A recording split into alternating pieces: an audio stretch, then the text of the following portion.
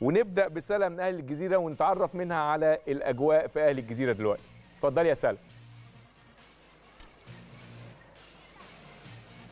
مساء الخير يا كابتن أيمن. طبعا خليني في البداية أرحب بحضرتك وبكل ضيوفك الكرام والكباتن الكبار في الاستوديو الكابتن علاء ميهوب والكابتن أسامة عرابي والكابتن عادل عبد الرحمن والكابتن أسامة حسني وبكل مشاهدي ومتابعي شاشة قناة النادي الأهلي في كل مكان. وبالفعل يا كابتن أيمن زي ما حضرتك قلت حاليا أنا متواجدة داخل مقر النادي الأهلي بالجزيرة عشان أنقل لكم كل الأمور والأجواء هنا واستعدادات النادي الأهلي لمشاهدة مباراة اليوم ومباراة السوبر الأفريقي ما بين النادي الأهلي ونادي الرجاء المغربي اللي إن شاء الله يعني هتنطلق يعني بعد ساعة من دلوقتي في تمام الساعة السابعة مساء على استاد أحمد بن علي. يمكن خليني كابتن أيمن طبعا في البداية أقول لحضرتك الأجواء هنا واستعدادات النادي الأهلي. بالفعل بدأ يتوافد أعضاء النادي الأهلي على مقر النادي الأهلي بالجزيرة. يعني يمكن من بدري كمان بدأ يتوافد أعضاء النادي الأهلي بالرغم يعني من انخفاض درجات الحرارة. كمان يعني أنا لاحظت يعني من بدري إن كل أعضاء النادي الأهلي مبسوطين ويعني في أحاديث جانبية بيتكلموا عن إن هم قد إيه يعني مشتاقين إن هم يتفرجوا تاني على فريق النادي الأهلي وعلى مباريات النادي الأهلي بعد يعني مدة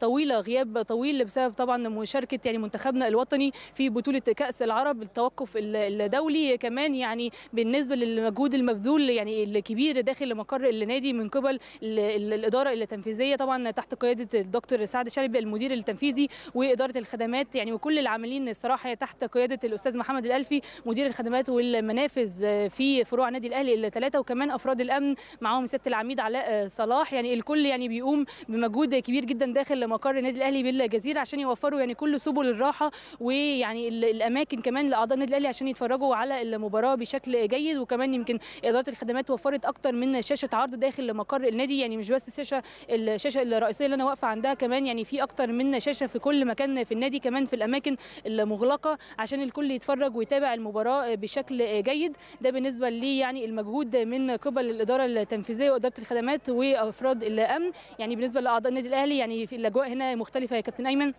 أجواء استثنائية. يمكن أعضاء النادي الأهلي يعني بيفضلوا دايما إن هم يتفرجوا على جميع المباريات داخل مقر النادي الأهلي بالجزيرة ومش بس مقر النادي بالجزيرة كمان يعني جميع فروع النادي الأهلي زي مدينة نصر والشيخ زايد عشان الأجواء بتكون مختلفة وأجواء تبقى استثنائية وكمان تبقى أكثر من رائعة. وكمان يعني إن شاء الله لما جميع لاعبي النادي الأهلي والجهاز الفني النهارده يفوزوا ويتوجوا باللقب يعني بطولة السوبر الأفريقي للمرة الثامنة في تاريخ النادي الأهلي كمان الاحتفالات هنا بتكون مختلفة بالنسبة لأعضاء النادي الأهلي. يعني يا رب إن شاء الله النهارده يا كابتن أيمن جميع لاعبي النادي الأهلي يفرحونا النهارده ويحققوا الفوز واللقب الثامن في تاريخ النادي الأهلي. وطبعا يا كابتن أيمن أنا مستمرة معاك أنا وكل زملائي من فروع النادي الأهلي في تغطية خاصة وحصرية على شاشة قناة النادي الأهلي. وإن شاء الله يا كابتن أيمن يعني بعد المباراة نحتفل كلنا على الهواء مباشرة مع حضرتك. يمكن دي كانت كل الأجواء واستعدادات النادي الأهلي يا كابتن أيمن قبل بداية وانطلاق مباراة اليوم. والآن العودة مرة أخرى للأستوديو. وكلم بك يا كابتن أيمن تفضل.